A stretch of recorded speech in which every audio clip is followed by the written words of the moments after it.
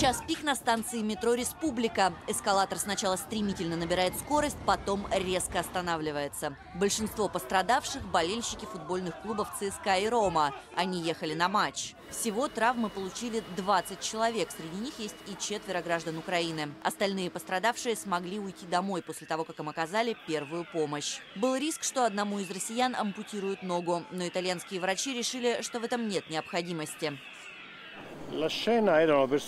Когда мы приехали на место, люди лежали друг на друге внизу эскалатора. Они искали помощи. У них были травмы, вызванные эскалатором. Серьезные травмы. Болельщики шумели и выпивали в метро. Возле эскалатора нашли пивные бутылки. Итальянский министр внутренних дел Маттео Сальвини обвинил фанатов в том, что они прыгали на эскалаторе. И сами виноваты в том, что произошло. Компания, отвечавшая за исправность рухнувшего эскалатора, утверждает, обязательные проверки проводились по расписанию. Причину аварии власти пока точно не могут назвать. Расследование продолжается. Следователи установят причину. Я бы хотела подчеркнуть, что мы вместе с пострадавшими. Вместе с пострадавшими россиянами.